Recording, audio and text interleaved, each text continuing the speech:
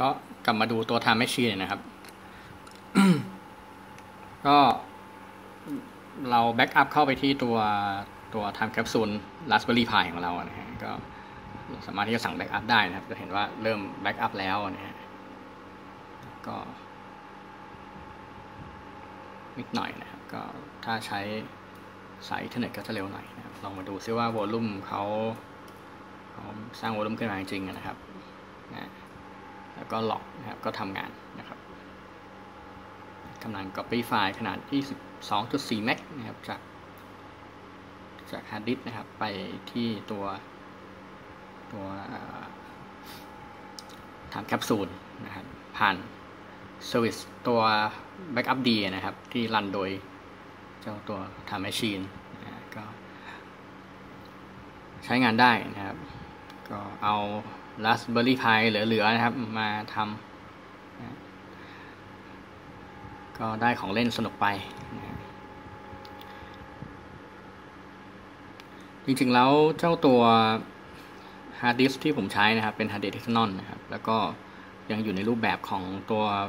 NTFS อยู่นะครับ ซึ่งคือโดยปกติก็ไม่ไม่แนะนำนะครับ จะมาต่อกับ Raspberry Pi USB 2 เนี่ย ก็ช้ามากนะครับ ถ้าจะทำแล้ว ให้มันใช้งานได้จริงจังนะครับ ก็ไปหาฮาร์ดแวร์ที่มันเร็วกว่านี้นะครับ แล้วก็ตัวฮาร์ดดิสก์ก็ควรที่จะเสียบเป็น SATA นะครับ หรือว่าเป็น solid state disk นะครับ ก็ตัวบอร์ดก็คงจะไม่ใช่ Raspberry Pi นะครับ ก็ไปหาอะไรที่มันแรงกว่านี้นะ อันนี้ก็อย่างที่บอกนะครับ ก็เอาของเหลือใช้นะครับมาทำให้มันใช้งานได้นะครับ ดีกว่ากอง ให้มันรกห้องนะครับ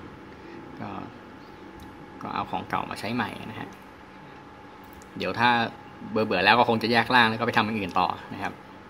ก็นี่ก็ให้ดูนะฮะว่าว่าตัว Time Machine ทำงานได้นะครับแล้วก็ทยอย backup ข้อมูลให้เรานะสังเกตจากล็อกนะฮะ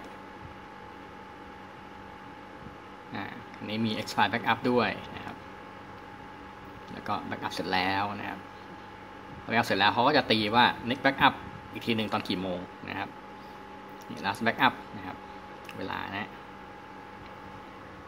เวลาจากเครื่องนะครับนะพอ backup เสร็จปั๊บเขาก็เขาก็ unmount ตัวตัว volume นะครับก็ eject disk image จากจาก network นะครับก็ eject ออกมาลองดูว่าถึงเปล่านะครับหายไปแล้วนะครับ ก็เดี๋ยวอีกตอนกี่โมงเนี่ย สองทุ่มยี่สองนะครับ เดี๋ยวเขาก็จะไปไปเมาส์ตัวรีโมทจากตัว Time Capsule Raspberry Pi ของเราอีกรอบหนึ่งนะครับ แล้วก็สั่ง backup อีกครั้งหนึ่งนะครับ แล้วก็ทำอย่างนี้ไปเรื่อยนะครับ เท่าที่ผมสังเกตก็รู้สึกจะมันทุกๆหนึ่งชั่วโมงนะครับ ที่เขา backup ให้เรานะครับก็แบบนี้ก็ดูดูสะดวกดีนะครับ แต่ว่าถ้าอย่างที่ผมบอกนะครับก็